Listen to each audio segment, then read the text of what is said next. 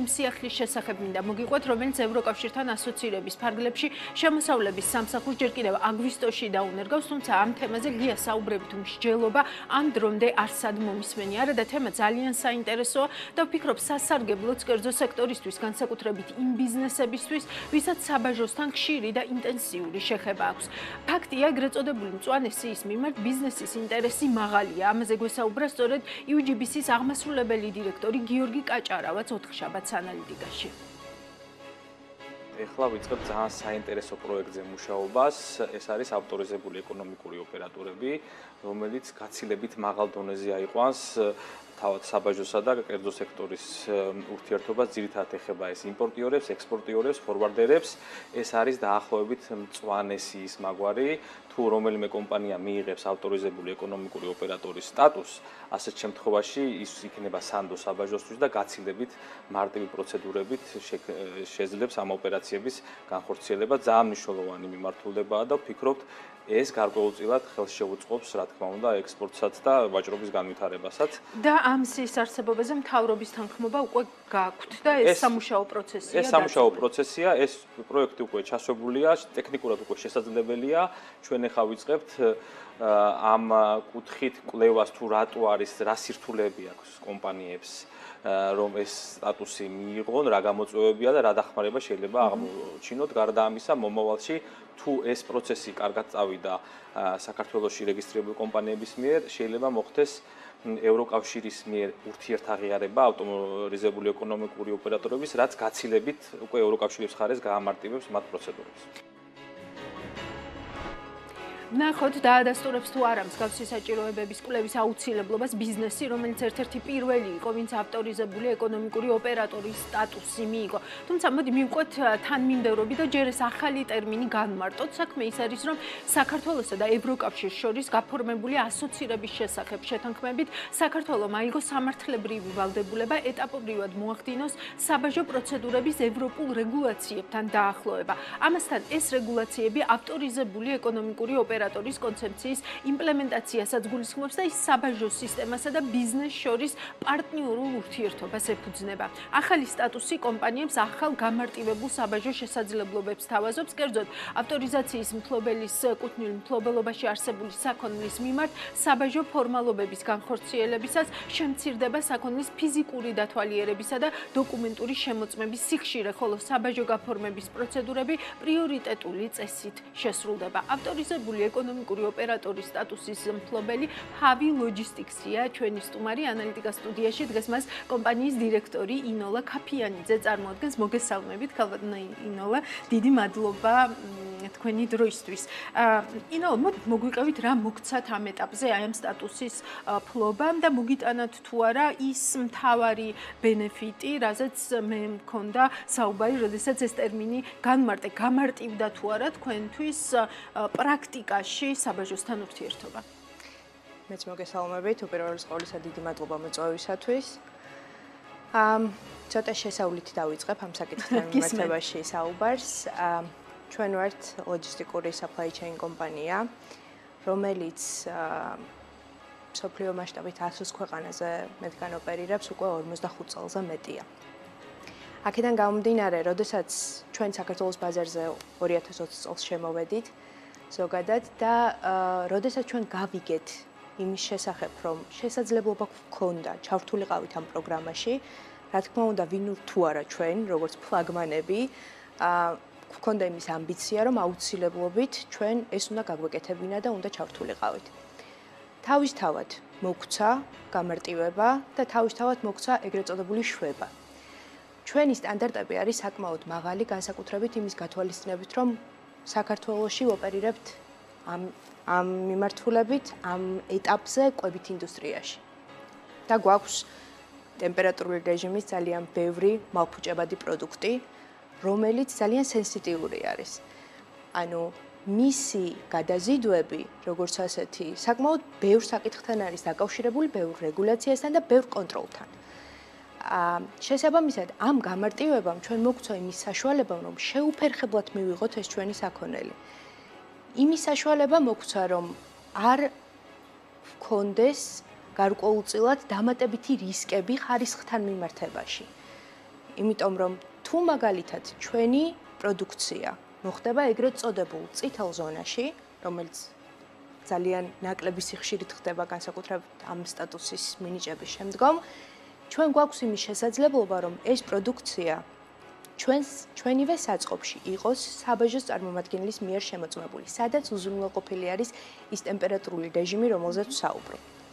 აქედან გამომდინარე, რა თქმა უნდა, პრიორიტეტში ყოფნა, ურიგოთ, ასე ვთქვათ, გესში გავლა, დოკუმენტაციის მოწესრიგების თვალსაზრისით ასევე პრიორიტეტში ყოფნა.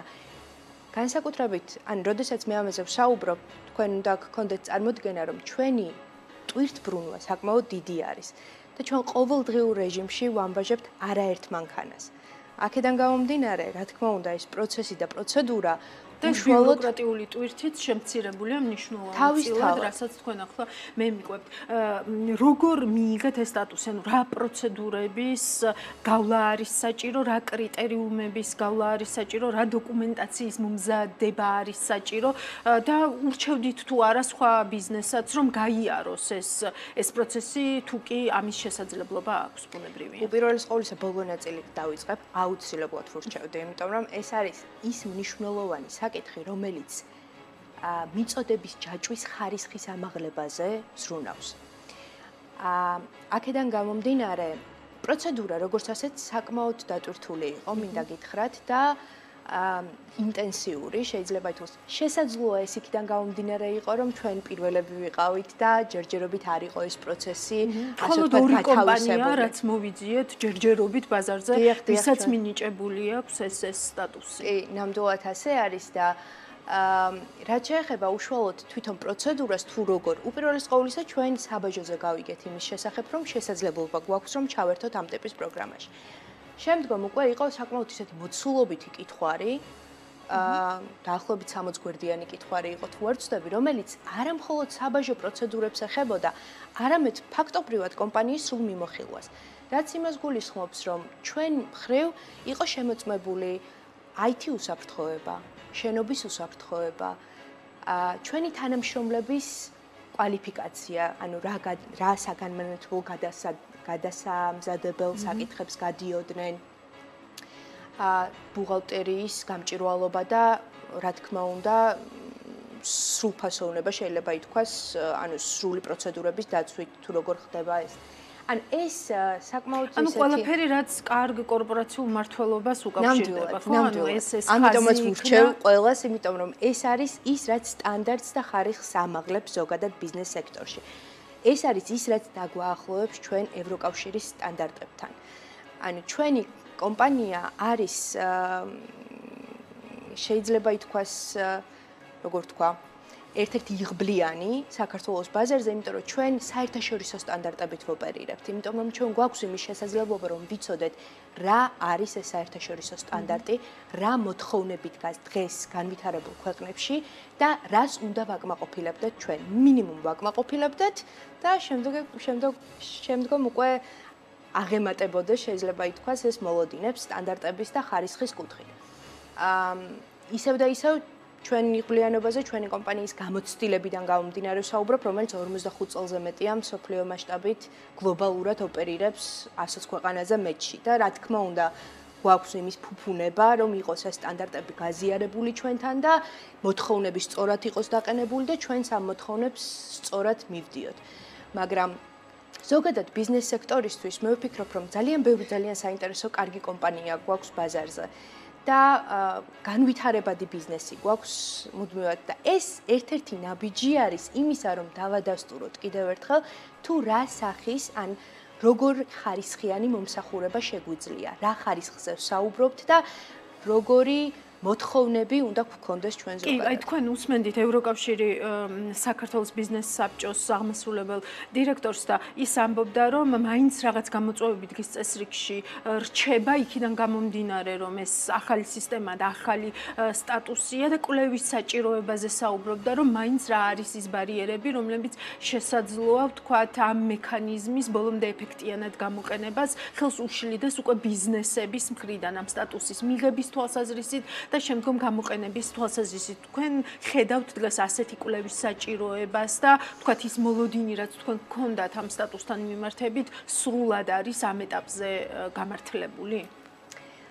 აა კვლევის საჭიროებასთან დაკავშირებით მე ვფიქრობ, ჩემი აბსოლუტურად სუბიექტური აზრი არის, ეს ნამდვილად არ მქონია საუბარი სხვა ბიზნეს სექტორის სხვა წარმომადგენლებთან ამ საკითხთან დაკავშირებით, თუმცა მე ვფიქრობ, რომ კიდევ ერთხელ ეს მოცულობითი კითხვარი თუნდაც რომელზეც ვისაუბრე, რომელიც საკმაოდ ისეთი სკრუპულოზული არის და ბევრ დეტალს მოიცავს და ბევრი ინფორმაციის წარდგენა გიწევს.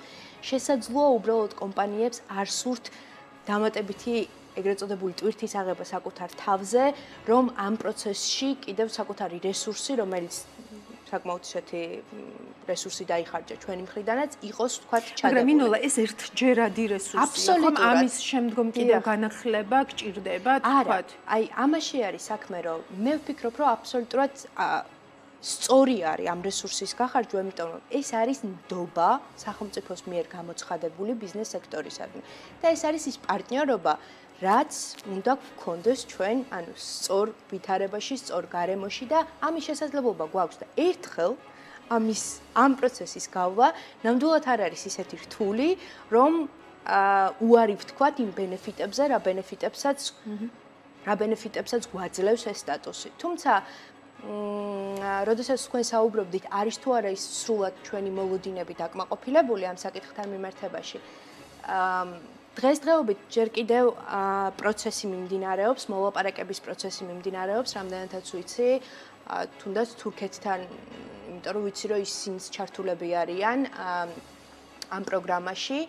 და მაგალითისთვის თუ ჩვენ ეს არის ერთ-ერთი გამოწვევა დღეს რაც გვაქვს და ძალიან გაგვიხარდებოდა რომ მალე ახსრულდეს და შესაძლებლობა მოგვეცეს რომ არა მხოლოდ საქართველოს ტერიტორიაზე, საქართველოს გეზში გქონდეს პრიორიტეტული შემოსვლა და ურიგო, არამედ თურქეთის ტერიტორიაზე, ვინაიდანაც გეოლოკაციიდან გამომდინარე, თქვენ შეცნობილია, რომ თურქეთის უმრავლესობა თუ არა სრული, ანუ რაცაც იმპორტ იმპორტს უეწევით, ამ ტერიტორიიდან შემოდის. შესაბამისად, თუ ჩვენ გვექნება იმის საშუალება, რომ იქაც ურიგოთ შევძლოთ აა ჩვენი თურქეთის გატარება და გამარტივებული პროცესებით შევძლოთ ნაკლები ბიუროკრატიით შევძლოთ. შესაბამისად, ეს მოგცემს იმის საშუალებას, რომ თუნდაც ის რისკები ავირიდოთ თავიდან, რაზეც საუბრობდი ტემპერატურულ რეჟიმთან მიმართებაში და დავაჩქაროთ უფრო მეტად. ის მიწოდების ჯაჭვი უფრო მყარი გავხადოთ და უფრო მოქნილი გავხადოთ. კი და როგორც UGBC-ის კომენტარიდანაც გამოჩნდა, იგივე შესაძლოა მოხდეს უკვე ევროკავშირის ბაზართანაც, ხომ? და ვთქვათ ეს უკვე იყოს ავტორიზებული ევროკავშირის ბაზრის მხრიდანაც, ხო? აბსოლუტურად, რა თქმა უნდა, ეს არის უზარმაზარი პლუსი, განსაკუთრებით იმათთვის, ვინც აა არ მხოლოდ იმპორტი, ანუ იმპორტი, ექსპორტი. ჩვენ გვაქვს ამბიცია ქვეყანას და შესაძლებლობა გვაქვს, რომ კარგი პროდუქტები გვაქვს, შეგვიძლია რომ ექსპორტზე გაგვაქვს კიდევაც, მაგრამ კიდევ უფრო მეტი შეგვიძლია რომ გავაკეთოთ.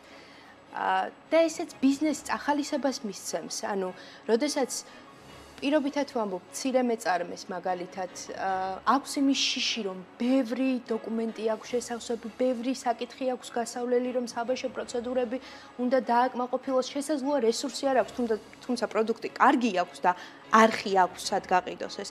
ანუ მისთვისაც ერთ-ერთი შესაძლებლობა იქნება ამ თლიანი პროცესის გამარტივებისა. განსაკუთრებით ყველაზე დიდი ბენეფიტი ამ სტატუსს აქვს იმაში, რომ მოცულობას, კომპანიის მოცულობას არსებითი მნიშვნელობა არ აქვს. აქ ხარისხზე გვაქვს ჩვენ საუბარი. იმ ხარისხზე, რომლის უზრუნველყოფა შეგვიძლია. აქედან გამომდინარე, ეს ოქროსიისგან განსხვავებული არის ამ კუთხით და ამ კრიტერიუმებში პატარა კომპანიებსაც შეუძლიათ თავისუფლად რომ ჩაჯდნენ. ამიტომაც მე ვფიქრობ, რომ საკმაოდ საინტერესო არის და სუბიექტურად ჩემს აა როგორ თქვა ბიზნეს სექტორის სხვა წარმომადგენლებსაც ვურჩევდი ყოველას რომ დაფიქრდნენ ამაზე და რაც უფრო მეტნი ვიქნებით, მით უფრო გამარტივებული იქნება თუნდაც სხვა ქვეყნებთან მიმართებაში ამ საკითხის დაძრა. შეიძლება ასე ვთქვათ და ევროკავშირთან ამის გამარტივება თურქეთთან ამის გამარტივება, ეს არის უბრალოდ ჩემს და ალბათ ხელშეუწყობს ასევე, ვთქვათ, იმ თავისუფალი ვაჭრობის ხელშეკრულებების ათვისებასაც, რომლებიც რეალურად ამ ქვეყნებთან ჩვენ გვაქვს, ხო? იმიტომ რომ სულ ისმის კითხვა იმასთან დაკავშირებით, რომ მაგალითად DCFTA კარგახანია გვაქვს, მაგრამ ბიზნეს მაინც უჭირს, ვთქვათ, ამ ბაზარზე შეღწევადობა. ანუ ამ კუთხითაც როგორ ფიქრობთ ეს იქნება ერთ-ერთი ალბათ რაღაც დროის დაზოგვის თვალსაზრისი და ალბათ თავის და კიდევ ერთხელ ხარისხის ხაზგასმა, ანუ როდესაც თქვენ გაქვთ შესაძლებლობა რომ მიიღოთ ეს სტატუსი, ანუ თქვენ ამართლებთ იმ გამოთქმულ დობას სახელმწიფოს მხრიდან ბიზნეს სექტორისადმი. და შესაბამისად ამიტომაც სარგებლობთ შემდგომ უკვე ამ ბენეფიტებით, იმიტომ რომ არა მხოლოდ თქვენს ქვეყანაში, არამედ სამომავლოდ ძალიან დიდი იმედი მაქვს რომ ძალიან მალე ევროკავშირის ქვეყნებშიც სხვა სტატუსის მატარებელი კომპანია ხართ. ნდობა აქვს გამოთქმული თქვენ და მე სახელმწიფოს და იმედია მომავალში ევროკავშირის ქვეყნებსაც და ამ შემთხვევაში უფრო ახლო უფრო ახლო მომავალში ელოდებით რომ ეს თურქეთთან განხორციელდება, ხო? ალბათ უფრო რეალისტური ეს არის. შესაძლოა, არ ვიცი, ეს დამოკიდებული არის უკვე იმ მოლაპარაკებებზე, რა მოლაპარაკებებიც მიდის სახელმწიფოს მხრიდან, საბაჟოს მხრიდან, შესაბამის კოლეგებთან. ამ პაკეტის ნაწილია, რომ აი ამ ძირითად სავაჭრო პარტნიორებთან, როგორც მივხვდი, ეს სტატუსი მოქმედებდეს ისევე, როგორც მოქმედებს, თქვა, გეს ბიზნესში აქ ადგილობრივად, აბსოლუტურად. კი. ეს არის ის ბენეფიტები და ეს არის ის დობა, გამარტივება, ნაკლები ბიუროკრატია, დროის დაზოგვა, რომელიც კომპანიას შეუძლია რომ კონდეს. კი ბატონო, ძალიან დიდი მადლობა ინოლა, მადლობა და იმედი მაქვს რომ რაღაცნაირად ცნობ ცნობიერებასაც ავამაღლებთ, რომ ასეთი სტატუსი არსებობს და ბიზნეს შეუძლია ამის ამის გამოყენება. მადლობა რომ იყავით ჩვენთან ერთად. Havi Logistics-ის დირექტორი ინოლა კაფიანიძე იყო ანალიტიკას სტუმარი.